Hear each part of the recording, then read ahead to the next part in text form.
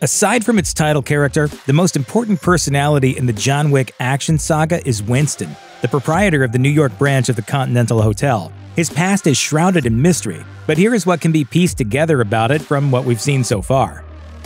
Winston, as of this video, has not exactly fought in the same way John Wick and the rest of his adversaries have, but he has displayed some of his skill. He is shown to be a pretty impeccable marksman, but probably his most obvious skill is his capacity for leadership. He commands attention and loyalty by doing actually quite little, because it is clear that everyone interacting with him understands who he is and where he came from, in much the same way that literally everyone in the universe interacts with John Wick.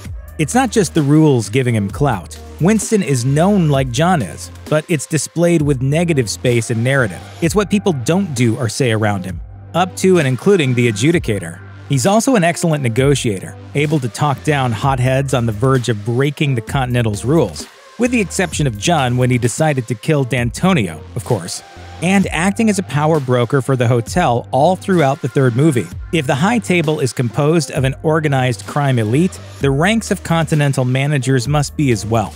Rather than being the dons, shot callers, and bosses of families, however, it may be reasonable to assume that the managers of the various branches are the erstwhile right hands of those at the table. Who better to run a hotel for hired killers than the best of those among them? It's likely the closest any of them will ever have to a retirement. And the idea does, in fact, have a teeny bit of canonical support through Sophia's characterization. We know the most about how to ascend to running a Continental through Sophia, Halle Berry's character in John Wick Chapter 3, Parabellum. You do realize that I'm management now, right? I'm not service anymore, John. She is a former hunter, and in ascending to the manager position of the Casablanca branch of the Continental, she gave up a significant part of her life. Despite the safety the hotels are meant to provide, apparently Sophia either could not or simply chose not to take her daughter with her. John then hid the girl for her, which is what created the marker relationship between them. Sophia is less than ecstatic about fulfilling the marker and describes her life as management as the most peace she's ever had, despite the loss of her child. Perhaps Winston was similarly motivated in seeking to run the New York Continental, and later on, fight so hard to retain his lordship over it and remain in respected and feared status with the high table. He doesn't just take the job seriously, he relishes it, as he levels the rules against Antonio in John Wick 2 when he tries to have Wick's membership revoked. There's a personal flair in how he enjoys thumbing his nose at people of theoretically higher status than him. In the third film, the adjudicator gives Winston one week to get his affairs in order before he will be replaced as manager as punishment for assisting John. I've been in service for over 40 years. Under the table, serving the table. Everything is under the table. I understand that you have your loyalties, but this cannot be overlooked. It's unclear if those 40 years of service is all time spent running the Continental or not. If it is, he would have ascended to the job in his 30s, which would likely be a prestigious thing for someone so young. And such a long time and such a cushy job certainly could make anybody a little possessive of it. John Wick 2 ends with John meeting Winston at the Bethesda fountain, where Winston tells him that the reckoning he will suffer in the next film is at hand. We see Winston make a phone call to make John excommunicado, and he must give an identification number to certify the order 11111. That feels like an awfully low identification number, meant to evoke the idea that Winston has been around for a long time longer than probably several members of the High Table, and definitely longer than whoever the Elder is, since he appears to be younger than even John Wick. Time means history, and history begets secrets, so Winston must have a lot of them. We can't really be sure how long this underworld system has operated. The only clue we have to the organization's age is the displayed gold coin in Berrada's compound. He doesn't say how old it is, only that it was extraordinarily difficult to track down. Considering the sheer amount of people registered in the system of this universe, however, only five digits in an ID number, and all ones at that, means he could be somewhere close to the foundational infrastructure of the underworld as we understand it in the movies.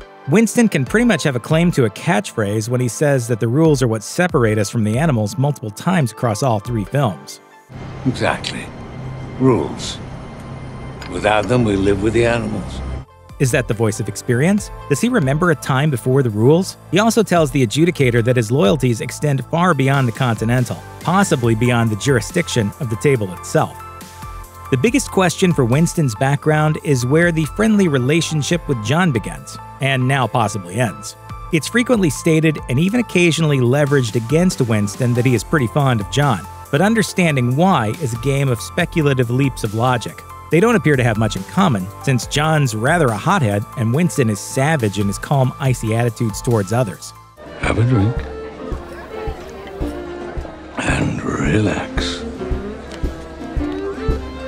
For now. Winston gave John a marker at the end of John Wick 2, a marker that is yet to be identified or cashed in, as well as the hour head start to get away. Winston appears to owe John a favor, and the stakes have not gotten high enough yet for John to feel like cashing it in. Winston knows John well enough to hold his sense of internal honor and emotional state against him, as he does when asking which version of John he wants to die before confronting the adjudicator. Who do you wish to die as? The Baba Yaga? The last thing many men ever see, or as a man? We don't know if the result, which puts John over a balcony to fall four stories, is a double, triple, or even quadruple cross, but it nonetheless proves a level of intimacy between the two men. In any other context, you wouldn't hesitate to call them friends. Winston displayed total willingness to break rules for John up until he was forced to declare him excommunicado. In this universe, that comes from trust earned off the back of taking risks for each other. The tale waiting to be told between them will likely be part of the plot for both the fourth and fifth movies in the franchise. Is it a display of the ultimate trust to undermine the table, or an ultimate betrayal to leave John to the wolves? Check out one of our newest videos right here. Plus, even more Looper videos about your favorite movies are coming soon. Subscribe to our YouTube channel and hit the bell so you don't miss a single one.